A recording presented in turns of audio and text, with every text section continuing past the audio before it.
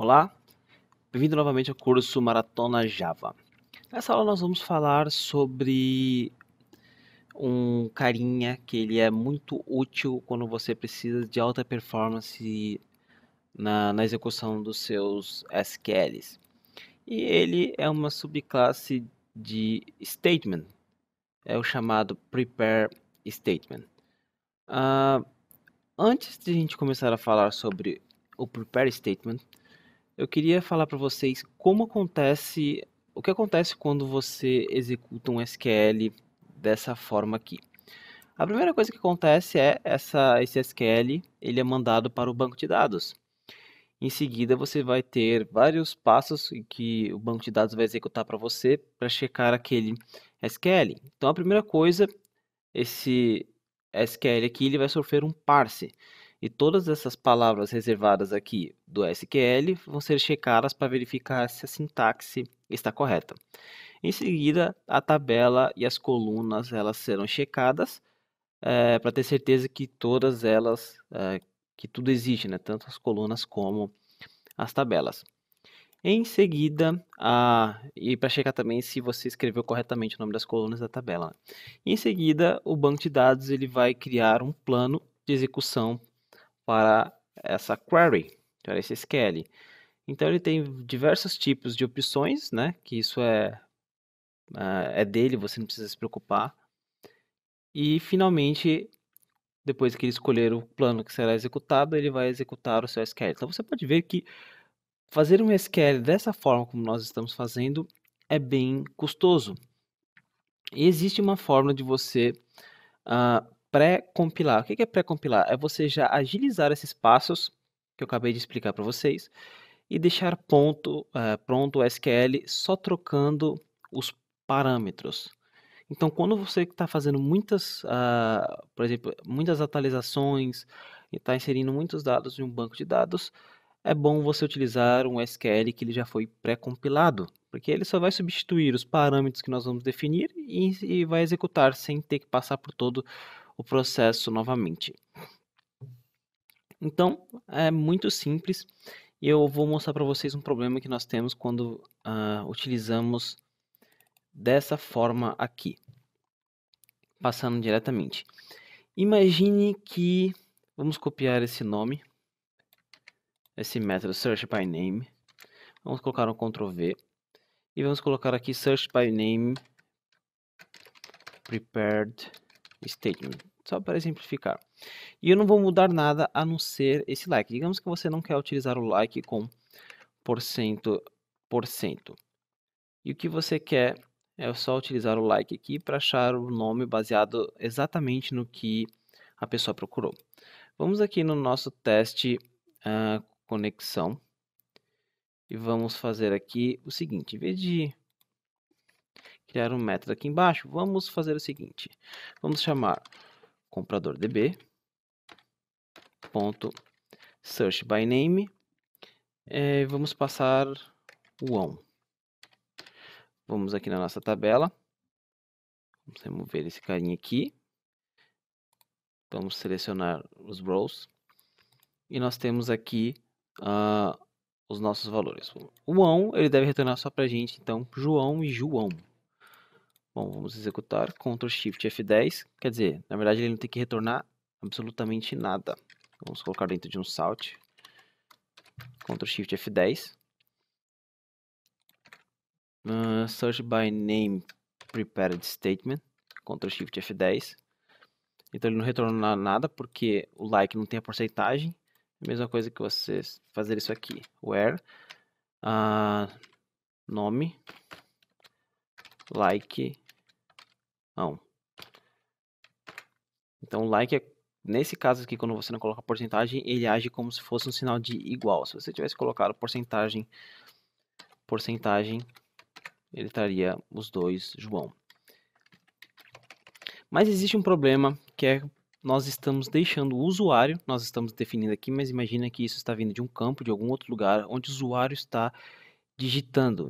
E existe uma coisa muito perigosa chamada SQL Injection. O que é SQL Injection? É a pessoa passar para você uh, um código SQL dentro do, do campo aqui como parâmetro e conseguir obter um resultado do banco que ele não deveria ter.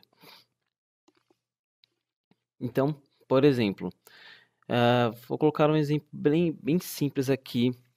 Nós temos aqui João e vamos trocar esse João. Vamos fazer o seguinte, vamos colocar aqui, fazer um SQL injection para trazer todo mundo da nossa tabela comprador.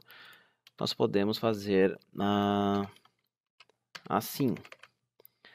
É, João, a gente fecha aqui, or, abre, x, fecha, igual, abre, x e deixa aberto. Então, vamos ver agora se isso vai funcionar.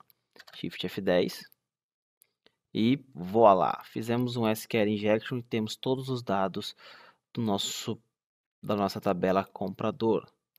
Por quê? Se nós formos aqui, é exatamente isso que está sendo executado. Traga qualquer pessoa da agência compradora onde o nome seja on ou x igual a x. Quando você faz x igual a x, é a mesma coisa que você está simplesmente eliminando todo o where e executando dessa forma. Então, quando você faz isso, você está fazendo um SQL injection. Então, é muito perigoso e grandes empresas como, por exemplo, o Yahoo, já sofreram com isso.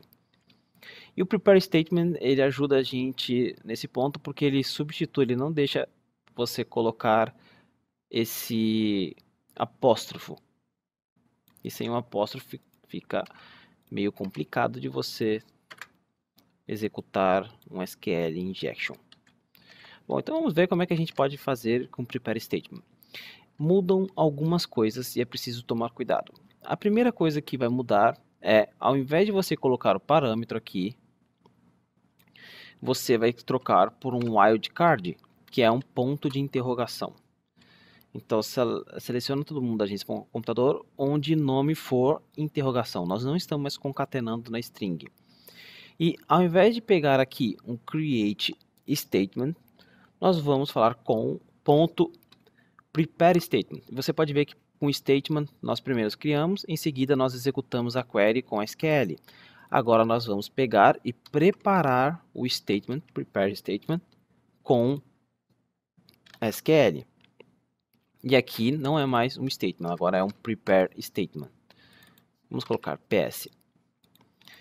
E esse prepare statement nós já temos criado, só que nós temos aqui uh, um atributo que precisamos substituir. Nós temos um coringa que nós precisamos substituir. Nós poderíamos ter vários coringas, por exemplo, end uh, id igual e assim por diante. No nosso caso, nós só temos um e nós precisamos setar. Então, para setar é ps ponto que tipo é esse caractere coringa. Bom, esse caractere coringa vai ser para o nome, então vai ser uma string. Então, ponto set string. E qual é o índice que você quer substituir? Como só temos um, é o da posição 1 é o primeiro, wildcard, e o valor que eu quero é nome. Vamos trocar aqui. E outra coisa muito importante que vocês precisam tomar cuidado é o execute, execute query não tem um SQL. Deixa eu trocar aqui PS.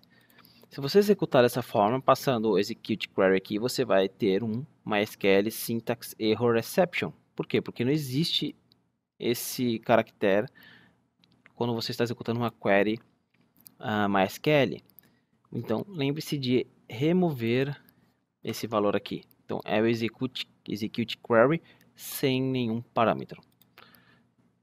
E se executarmos agora, Shift F10, nós temos aqui nenhum valor. Se quisermos adicionar as porcentagens, nós temos que adicionar aqui, mais, Shift F10. Ainda não temos nada. Vamos ver o que, que nós estamos passando. Ah, nós estávamos tentando passar aqui a, uma SQL injection. Então você pode ver que realmente não funcionou. Só voltar aqui. Shift F10. Então nós SQL injection não funcionou utilizando prepare statement. E Ctrl Z, Ctrl Z. Vamos passar agora só o, o on. Shift F10. E nós temos aqui os nossos dois compradores João. É, então, o prepare statement ele pode ser utilizado para tudo. Por exemplo, a, o update. Hum, nós poderíamos fazer da seguinte forma.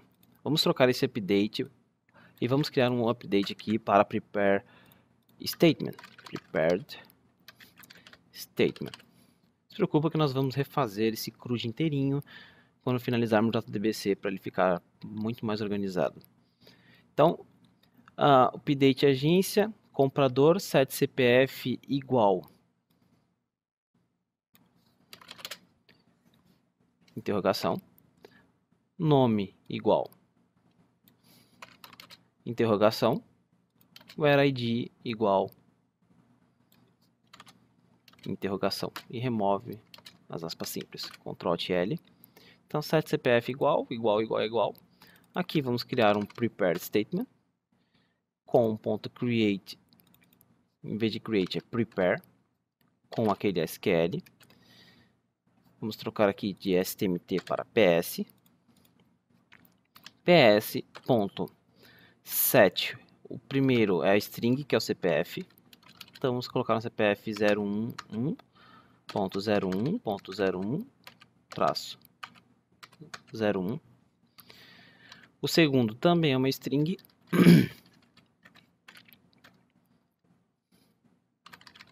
Vai ser o prepare statement da Silva. E o ID, ele é um int.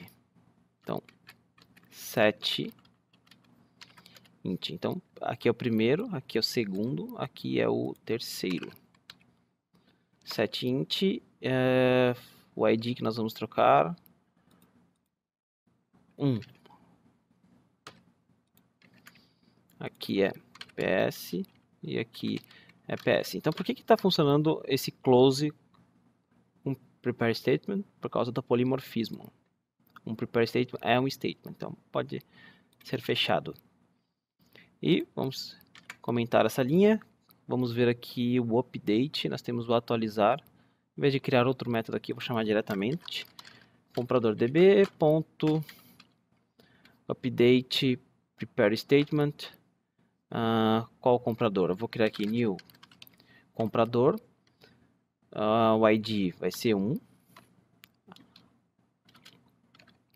na verdade fiz besteira aqui. Deixa eu copiar esses valores aqui. Ctrl c ctrl v vírgula. No momento esqueci que estava trabalhando com objetos. Então CPF vai ser comprador.get CPF. Esse daqui vai ser comprador.get nome. Esse aqui vai ser comprador.get ID. E vamos remover aqui execute update sem o SQL. Bom, vamos testar. Shift F10. Registro atualizado com sucesso. Vamos atualizar aqui. Realmente agora o 1 é o Prepare Statement da Silva, tudo atualizado. Então, esse é o Prepare Statement. Utilize ele sempre que possível, porque o ganho de performance é muito grande, principalmente quando você faz muitas consultas ou registros, uh, insere registros ou atualiza registros em um banco de dados. Então, eu vejo vocês na próxima aula. Até mais.